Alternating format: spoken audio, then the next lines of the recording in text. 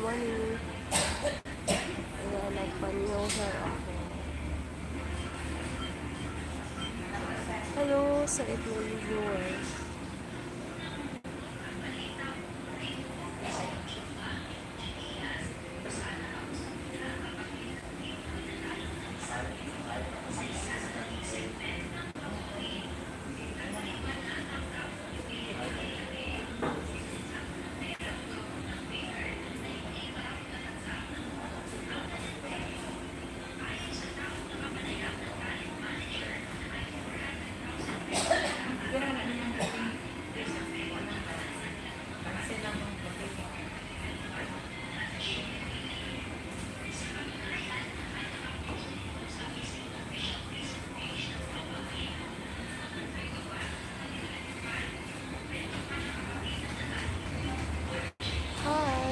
Hi, good morning guys.